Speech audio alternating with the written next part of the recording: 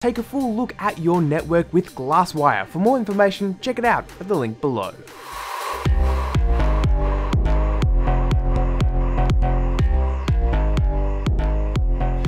What's up guys, CPU Modder here, back with another video, and about a year ago I published a video taking another look at Windows 10 in 2017 to really see was it still rubbish? And I concluded that, yeah, there was still quite a few problems, but it was getting better and better. And well, a year later, I thought why not go ahead and revisit the exact same thing, except with the latest version of Windows 10, to see really how it stands up. Surely Microsoft and the Windows team have gotten their act together, and they've done something in the whole year that they've had between, well, the last video and also to this video. So for the past few weeks, in fact, the past three weeks, I've been running Windows 10 Pro on my desktop and also to this guy, my my laptop PC, the XPS 15 9550, and this was my use case for these two pieces of tech. So I thought, let's go ahead and see what it is. I went ahead, did fresh install, so they're brand new, the latest version. This is the uh, April Creators Update, I think it is, or just April Update, whatever it is, will be on the screen if I got it totally wrong. Otherwise, I was totally right. And the only time I didn't use Windows 10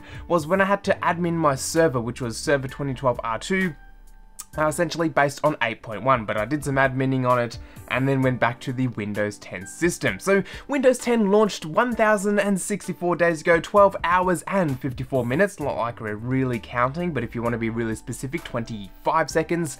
So it has been a bit of time since Windows has launched. In fact, over two and a half years that they've had to potentially listen to their feedback and act on it. But let's see whether they really did. So again, this is the latest update as of the time of recording, which major update has been, I believe, the April update, and we went ahead and run that, just the latest ISO off of the Windows website. So we'll kick things off on a little bit more of a negative note with some of the downsides that I found still with Windows 10. First and foremost, was scaling. Scaling was something that I really didn't like last time, and whilst it's definitely gotten better, it is still no good at all. Compared to something like macOS or even Linux at that, they both have much better scaling options.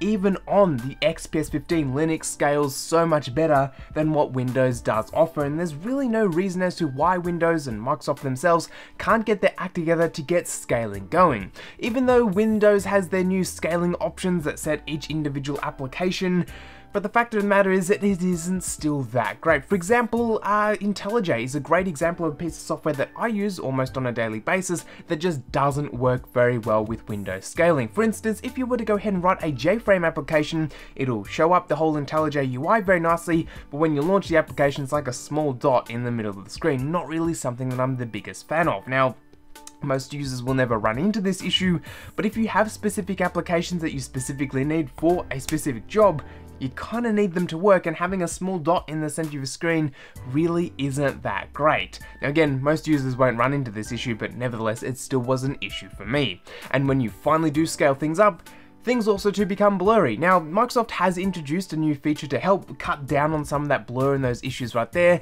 but scaling all in all is just not a problem. Why can't Windows take the same approach as Linux and Mac side, where you just make things bigger, render it at 1080, on the fly upscale to 4K, boom, you are done. Now, yes, there's a lot more under the hood that needs to be done than just render 1080 and upscale, but for the sake of it, I don't know why Mac OS and even the free Linux, again, seem to get this right, and Windows doesn't seem to get it right, even though Windows 10 costs so much more than either of those two operating systems. And I'm really just not a big fan. Continuing on, there's also two other issues that I ran into whilst using Windows 10, uh, and that is the stability of the thing. Now, don't get me wrong, it was rather stable on my XPS 15 as it was designed around Windows 10, has Skylake chips and all those kind of things, uh, but when it was definitely over on my desktop PC with X99 and all the drivers installed and all that, there was an un, um, just unbelievable amount of crashing.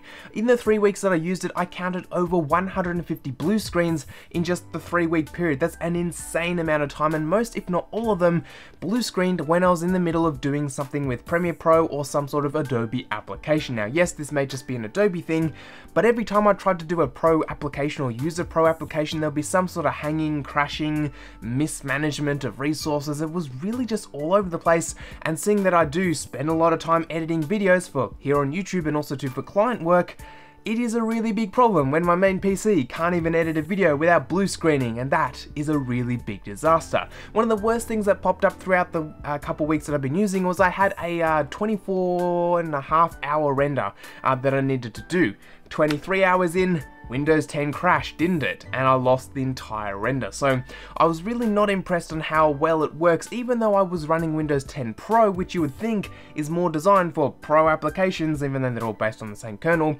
Uh, the, the fact of the matter is, even Windows Pro still couldn't handle a pro type of application, which was a really big letdown for me, and just left me thinking, what the hell am I doing with this operating system that even some like Windows 7 and 8.1, and heck, even Windows Vista would be better at this than Windows Windows 10 for these type of pro applications. Now, someone might say that I just had a misconfiguration of drivers or software or had something weird on it. To be quite honest, I had the SSD, clean install of Windows 10, the drivers for the motherboard and any of the peripherals that I had, and then Premiere Pro, and also to the other Adobe applications. So there's nothing else that was really causing it to crash other than Windows 10 itself and not playing nice with the applications that were on board. So uh, that wasn't really a big plus for me. Then over on the laptop side, the new power menu that is found down here is definitely kind of interesting, but where on earth is the battery time? This is something that I really didn't like Mac OS taking out, uh, was the um, estimation of how much time, and Windows has gone ahead and done it as well. Don't get me wrong, you can use the mouse and hover down in the corner and it will bring up a um, amount of time you have left, but I don't see why we have so much space in this menu and not have how much time we have left for the battery.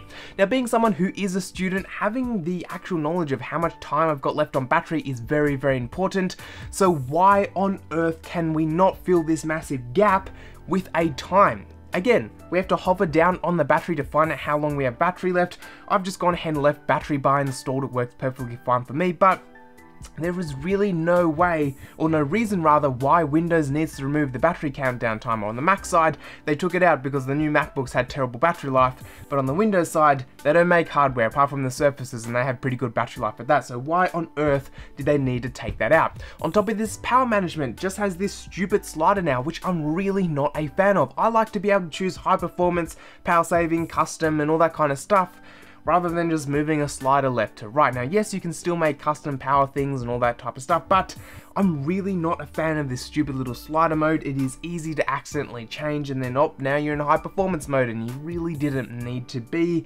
it just doesn't work for me. So all in all, I'm not a fan of that new power menu that does come up with the new version of Windows 10. Sure, it looks kind of aesthetically pleasing, nice little window there, but it really doesn't do anything if you are more of a power user. All in all though, not a really big fan. Moving on, continuing I guess with UI, and that is the settings, is still all over the place. Last time, I honestly did think uh, that the settings and the whole UI would be more uniformed in the next update of Windows 10. Unfortunately, that is not really the case. The system is very much fragmented. You can be in the really nice Windows 10 UI, the nice settings uh, window, and then all of a sudden be dumped into a window that looks like it's straight out of, you know, 2001. It is really not a great uh, experience. Even Linux has this down pat where all the windows across the board look exactly the same. Mac OS has the same thing, but Windows, it's like you got some of Windows 10 over here, some of Windows like XP over here, Windows 95 over there. It is very all over the place. Now, Yes, the argument can be made that the tools that look like they're straight out of 2001 really aren't going to be used on a day-to-day -day basis by the average end user, but the fact of the matter is if you're paying for a full license of Windows 10, you kind of expect the whole experience to be one whole experience, not just a bit from here, a bit from here, oh look now we've got Windows 10.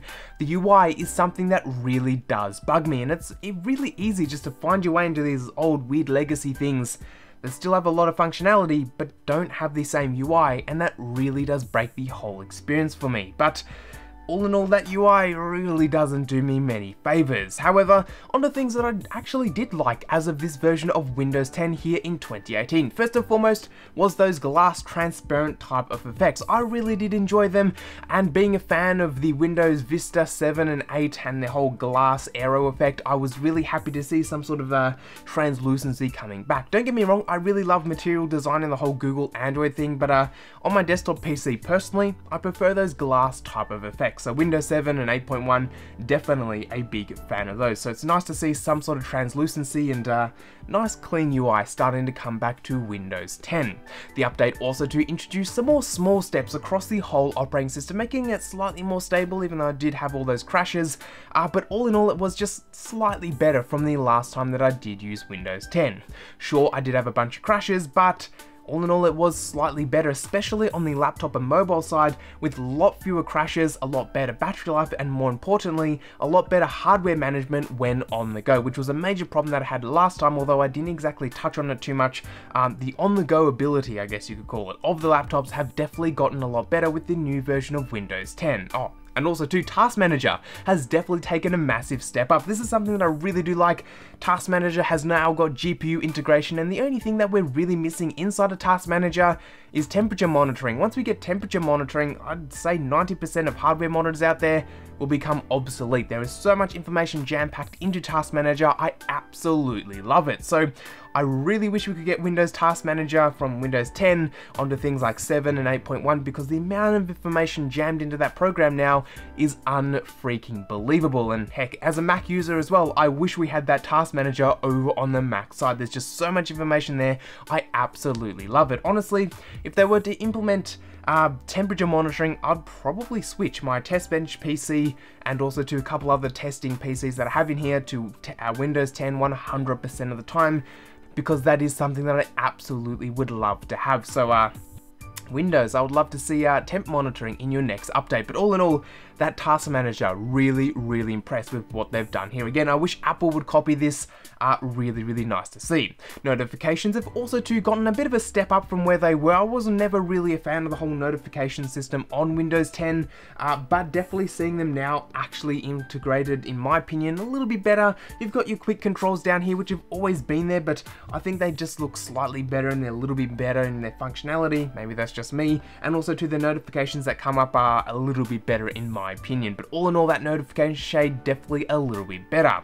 Now as I did mention 4K scaling has definitely seen a step up and I do have to give it credit where credit is due, it is a bit better than what it was originally, but it's still not exactly the best. They did go ahead and actually implement uh, a new little window that helps with um, working out all the blurring, so if you were to upscale a program, generally you'll get some blur. So what they've actually gone ahead and done is put in an advanced scaling option to help you dial in what kind of scaling you need for your system, which I definitely have to say is a massive thumbs up from me, especially with a laptop with a really nice 4K screen, being able to take advantage of it and run programs properly is something that I really do appreciate. So, whilst it's exactly not exactly the world's best scaling, I do have to say that it isn't as bad as it once was when Windows 10 was first released. So, hey, I'm not the biggest fan, but still give it credit for the work that they are at least showing that they are trying to put in. May not be the world's biggest step, but a baby step is better than no steps at all. And as I concluded last time, the new iteration of Windows 10 is more of a baby step as I keep coming back to rather than a leap or a massive jump in the whole user experience.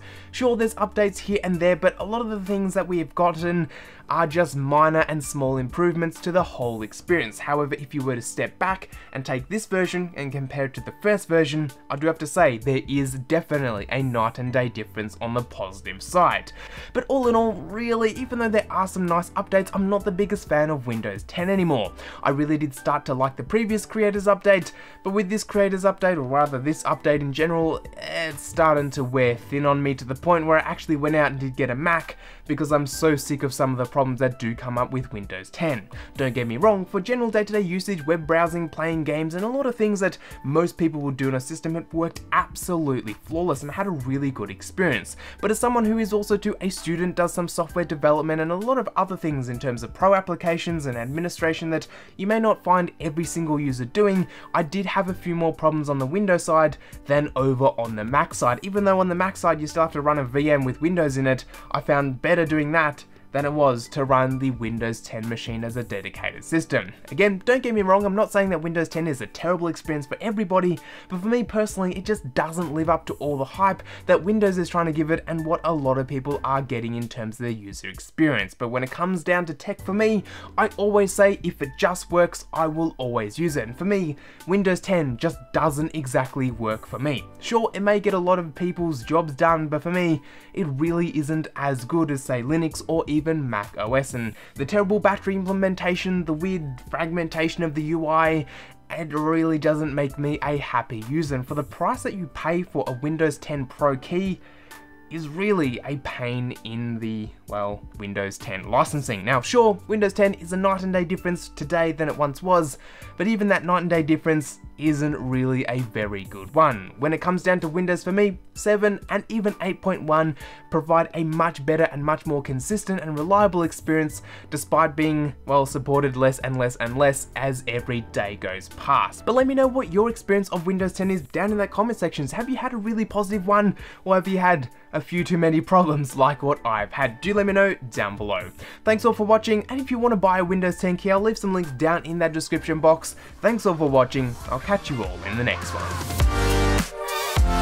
one.